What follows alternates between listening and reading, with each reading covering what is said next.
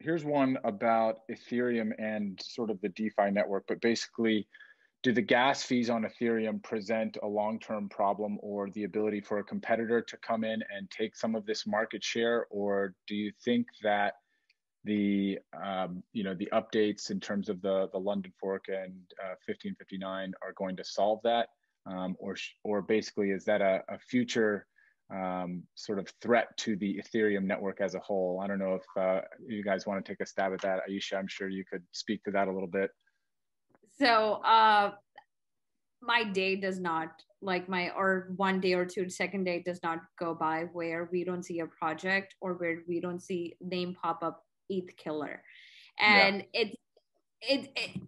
it's it's the entire market is like somehow you know has gotten that kind of reputation so from from like the fund perspective we don't think anyone is an eth killer we all think that they all are providing multiple solutions multiple uh, you know venues for us to invest and you know uh, deploy different uh, markets or different assets to come on board um, as far if any particular project portraying them as ETH killer or they're going to take ETH dominance over them. The entire issue is that no personal, uh, I mean, this is not, this is actually a very strict personal opinion, uh,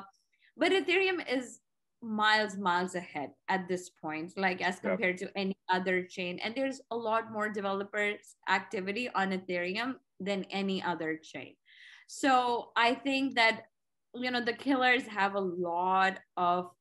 uh, you know groundwork to catch up on. Uh, will someone do it better than Ethereum? Probably so, but I don't think it's going to take Ethereum's spotlight away in like good next five to seven years or so.